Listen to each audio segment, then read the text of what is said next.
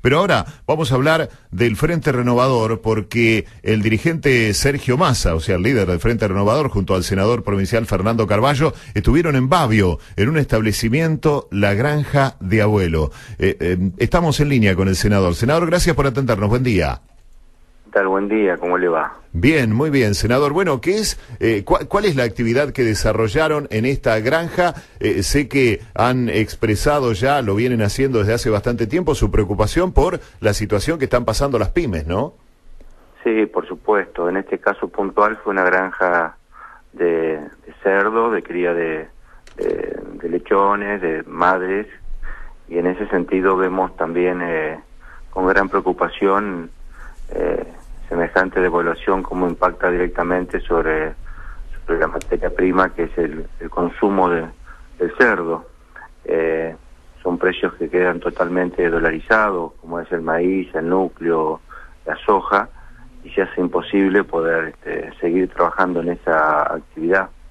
Más de mil productores ya han cerrado eh, sus industrias, sus pequeñas pymes, en este caso son 10 empleados, eh, y vemos con mucha preocupación eh, el valor de la materia prima.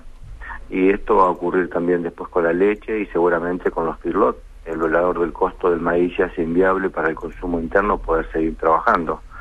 Y si abrimos las exportaciones es, es mucho más lo que entra que lo que sale y en ese sentido me parece que, nos, estamos preocupados realmente. Ahora, es, es increíble, ¿no? Nosotros venimos siguiendo de cerca toda esta situación de las pequeñas y medianas empresas desde hace bastante tiempo. Hemos, hemos hablado con el licenciado Daniel Arroyo también, que nos ha dado una visión desde el, mismo eh, sector que usted integra, ¿no? De, digo, es tan evidente todo esto, ¿cómo puede ser que no se entienda que está complicado el panorama para las pequeñas y medianas empresas, que son las primeras que demandan mano de obra y son una especie de termómetro de la sociedad, ¿no? Cuando le va bien a las pequeñas y medianas empresas, uno dice, bueno, las cosas están mejorando. Ahora, cuando le van mal, uno se da cuenta que a la larga eso se, se convierte en un círculo vicioso que le complica la situación a, las economías regionales, como son en estos casos, eh, estas, eh, por ejemplo, veo que en este caso tienen 10 empleados. O sea, esta gente por ahí no despide esos empleados porque son parte de su familia ya, pero eh, la situación va para eso, ¿no? Y si uno se queda sin trabajo, directamente, ¿cómo genera ingresos? Bueno, fue el producto de malas políticas económicas de los últimos años.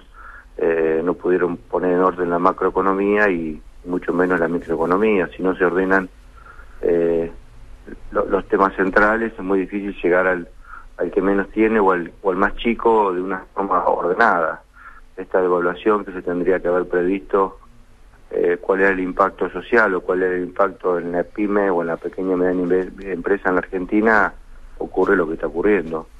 Y va a ocurrir en muchísimas empresas más porque realmente es imposible poder competir, porque a su vez el producto de el valor de la inflación que ha crecido enormemente, el consumo interno también se cae, es decir, que no tenemos forma de, de poder salvarla si no es con una medida del Estado Nacional que tendrá que tomar para resolver estos problemas, supongo.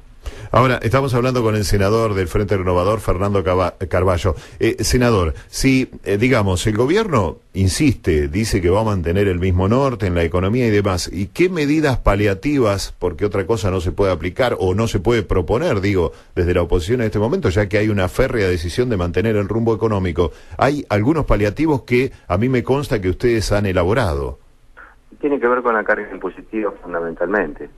Eh, tenemos que buscarle en ese, en ese sentido cómo podemos hacer para que eh, estas empresas que están complicadas, este, eh, ahogadas financieramente y encima con atrasos con atrasos de pagos en la FI, poder darle 180 días de gracias, una refinanciación, que los bancos puedan prestarle un crédito accesible hasta que esto llegue a algún punto que podamos encontrarle un equilibrio.